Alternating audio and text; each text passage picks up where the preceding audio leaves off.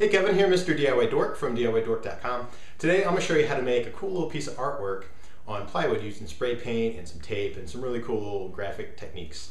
And uh, the reason I'm doing it is because I was reading through the comment section of one of my older videos uh, where I made the wall mounted stand-up desk and they were wondering how I had made the little graphic paint job on top. So I thought I'd go ahead today and make a little piece of artwork using the exact same technique so that I could explain it a little better. So anyway, check this out, it's pretty cool.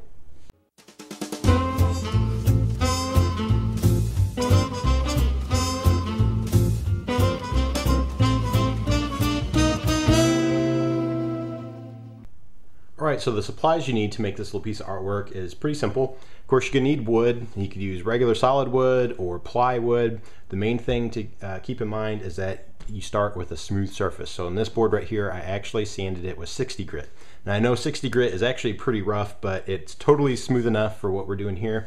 You just wanna make sure it's not like, you know, a piece of driftwood or uh, you know, like the plywood that's used for sheathing the outside of the house that's like super bumpy with cracks everywhere, knots and all that, you're probably going to have paint bleeding on that. So you want to make sure whatever you're doing is nice and smooth. Also, you, of course, you're going to want tape. You could get away with regular masking tape, but I've had really good luck with green painter's tape. And then a squeegee is going to help even more with that. And then I like to use an X-Acto blade to uh, cut my tape. You could use scissors. I just find this is a little easier. Of course, the pencil tape measure, uh, just to do a little bit of measuring and then finally spray paint. We're gonna paint with this. And the reason I'm using the silver metallic is I'm gonna make a graphic very similar to how I painted the top of my stand-up desk. I had someone ask how I did the graphic on there and I guess I didn't explain it too well on the video so I thought I'd make a little piece of artwork that's very similar to that. So that's it. I'll show you uh, how to get set up and uh, get it kind of prepared and then we'll start making it. It's pretty easy.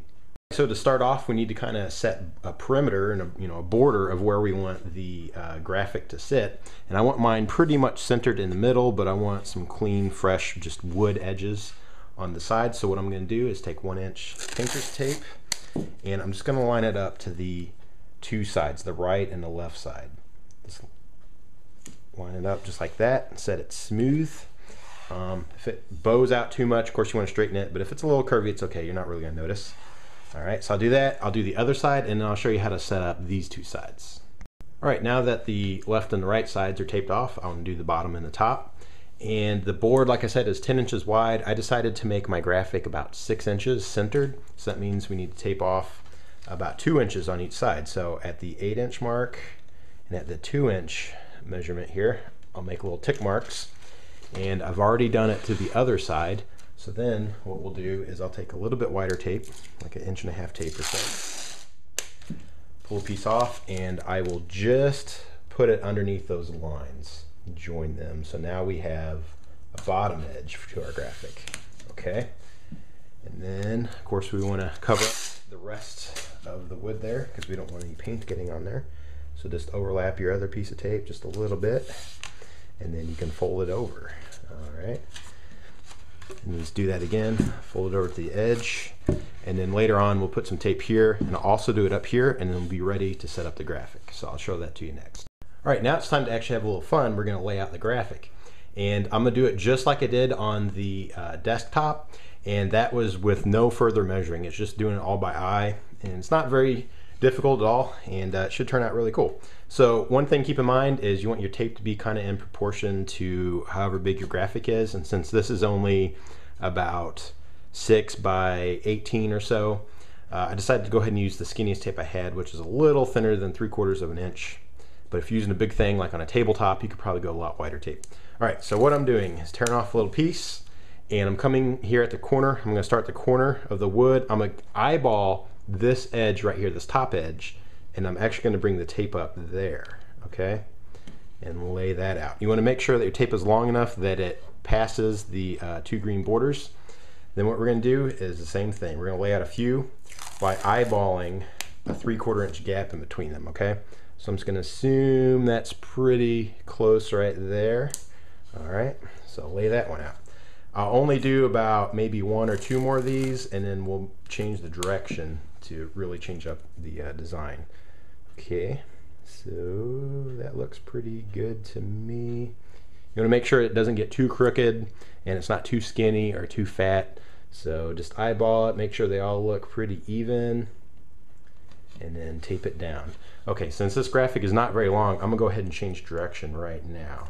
So I'm gonna tear off another piece.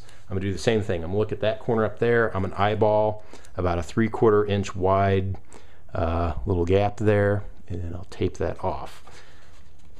All right, now this is, has overlapped that a little bit, so this is where your X-Acto knife will come into play. You just take it, cut the little piece a little short. It ends right on top of this one here, and now we're good. All right, let's do the same thing. Tear off a piece. We're gonna make sure that it only overlaps this little green piece here, this tape right here, that it doesn't, you know, doesn't do that. Eyeball three quarters of an inch and tape that down. All right. I'll do it again. Eyeball three quarter of an inch. Make sure it looks even. It's not too fat. Doesn't angle or anything. All right.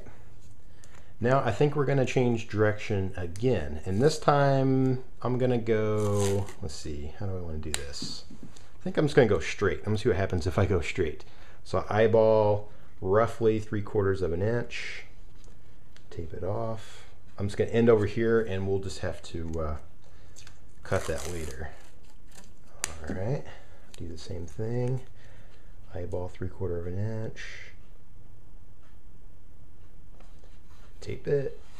All right. I'll do one more. Eyeballing it. Looks pretty good. All right, that one's a little long over here, so I'll cut it.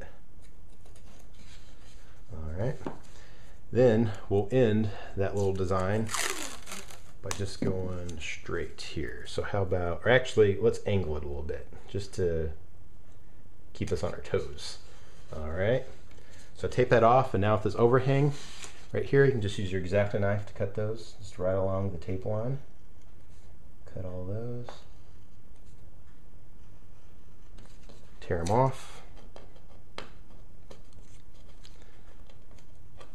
All right. And then I think for the uh, top gap up here, I think we'll just go straight up and down. So we'll eyeball, I'll tell you what, I'll start right here. Eyeball three quarter, stick my tape, tear that piece so that it doesn't overlap. Do it again. Alright. Looks pretty good right there. Take that off. I guess it's not totally straight. Maybe angles to the right a little bit, but that's okay. Three quarter of an inch gap. There we go. And looks like I can get away with just one more. So we'll kind of wing this one. It's a little tell you what, that's a little skinny there. So what I'm gonna do is shift this one over a little bit just to kind of even it out, the gap there, and no one will know any difference. Go like that, and maybe, oops, maybe shift this one just slightly. There we go, check that out. That looks pretty even, right? I guess they're a little skinnier than these, but you can't really tell. So I'll tell you what, that's basically the technique. I'll finish out the rest and I'll show you how to like stick it down really good. All right, my graphic is totally complete now. And what we want to do is make sure that all the tape is stuck down really good so that it doesn't bleed through when we paint it. So that's where the squeegee comes into play. You just want to make sure to uh, squish everything down really good. And then wherever pieces overlap and there's a corner, that's always a really uh, likely spot for paint to get through. So you want to make sure to really squeeze those down, squeeze all these edges where it meets the exposed wood because we don't want any paint coming through there. You also, of course, don't want to be doing that and peeling, you know, the tape up. So make sure you kind of go in the direction of the tape and just get all the edges as good as you can. And it should be good enough, especially with the little painting technique I'll show you next. All right, now that all the tape is stuck down really well, it's time to paint it. And there's a couple things I want to do with this paint job. I want it to look a little old and worn and distressed, you know, kind of mixing that with this modern pattern. Also, I want it translucent enough that you can still see the really cool wood grain going through it. So the trick here is to spray it really light. Another added benefit of spraying it really light is that it's not really going to bleed through the tape. If you go too heavy and it gets all liquidy and runny, there's a good chance that once it hits one of these corners, it's going to want to try to go under it.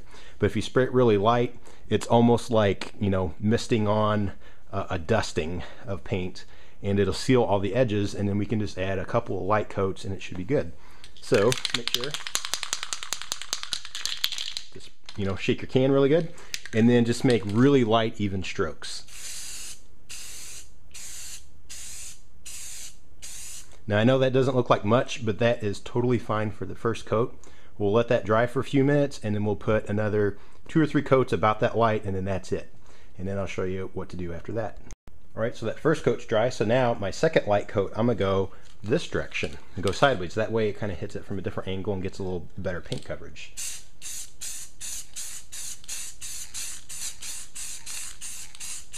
And that's it. Now I'm gonna let that dry and then I'll probably put one more from a different direction, probably coming from this way, maybe at a slight angle, just to, you know, get a little better coverage and that's it. And then we'll move on from there. All right, once the paint dried, I peeled all the tape off and the graphic looks really cool. You could just leave it alone like this, but I think I'm gonna take it up a notch and really finish it out. Also, I still want it a little more translucent than this. You can kind of see the grain, but I wanna see it a lot more. So I think I'm also gonna build a frame in a similar finish with silver. So what I did was I took some boards that are, I think this board here is about half inch or so, and I took a three quarter inch board and I cut it at the 10 inches. And then uh, for the top and the bottom, I did the same thing, except I made them a little longer to overlap. So it'd be like that, and then there'll be one here at the bottom. And I'm gonna paint them the same type of silver. So let me show you real quick how I finish those.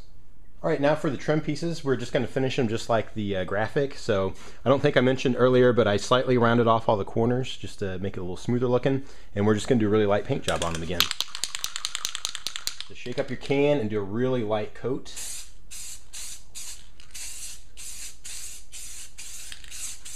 Let that dry and we'll go from the other side and then we'll probably put on one or two more coats and uh, make sure that all the sides of the, the wood are covered. once it's dry, you know, flip it over and do that. And once it's all coated, then I'll show you how to finish everything. All right, now that all of the trim pieces are dried, it's time to kind of dull down the shine a little bit because I said I want it to look a little aged and, and uh, you know, patinaed. So all I'm doing on the trim pieces is I'm sanding it very lightly just till the shine kind of goes away and some of the wood grain pops through. I'm just using about a 200 grit sandpaper or so. I'll do that to all the trim pieces. Now on the board itself, we're just gonna be able to kind of get a similar effect by doing the wax. And we're also gonna wax these when we're done. So let me finish sanding these and then I'll apply the wax and show you how all that goes. All right, and like I just said, I wanna dull down the shine on the uh, graphic itself too. So what I'm gonna use is a little finishing wax here. So just put some on there and then when you wipe it on, uh, it may not quite show on camera, but what's gonna happen is it will slightly wear it down and then uh, you should be able to see the uh, wood grain popping through. The other cool effect is that it will, like I said, kind of age it. And then also, when you peel the tape off, there might be a little texture to it. You can kind of feel the edges of these. And once we rub it down with the wax, it'll smooth everything out. So it's just a really nice smooth surface. So I'll finish this out.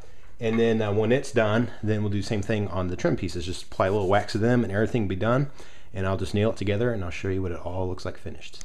All right, and there we go, all finished. Turned out really cool. Got the super modern uh, graphic paint job on there on top of the uh, wood grain, which is a cool combo.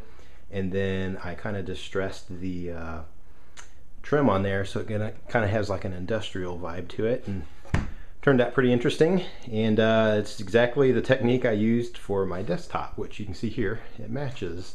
Uh, the only difference here is that this plywood uh, I used for the desktop is a little bit nicer grade. And now that I'm remembering back, this spray paint was slightly different than the one I use today.